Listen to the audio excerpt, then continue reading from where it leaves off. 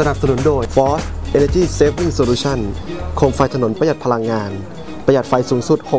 60-70%เรามีทีมสำรวจ พร้อมให้คำปรึกษาในการติดตั้ง และเปลี่ยนมาใช้ LED Street Light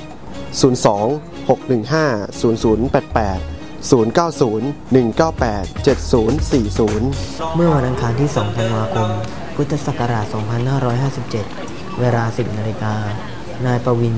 ชำนิประสาท ผู้ว่าราชการจังหวัดอ่างทอง ได้เป็นประธานในพิธี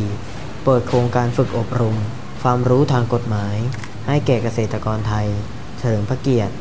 พระบาทสมเด็จพระเจ้าอยู่หัว เนื่องในโอกาส มหามงคล เฉลิมพระชนมพรรษา 87 พรรษา 5 ธันวาคม พุทธศักราช 2557 ณ ห้องประชุมขุมทรัพย์ความรู้จังหวัดอ่างทอง อำเภอเมือง จังหวัดอ่างทอง สำนักงานอายการคุ้มครองสิทธิและช่วยเหลือทางกฎหมาย และการบังคับคดีจังหวัดอ่างทอง กล่าวว่า โครงการฝึกอบรม ความรู้ทางกฎหมาย ให้แก่เกษตรกรไทย เฉลิมพระเกียรติ พระบาทสมเด็จพระเจ้าอยู่หัว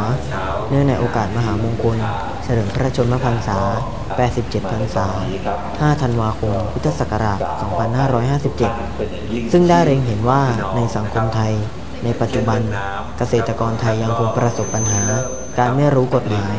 ถูกเอารัดเอาเปรียบ และการถูกละเมิดสิทธิในด้านต่างๆทำให้เกษตรกรได้รับความเดือดร้อน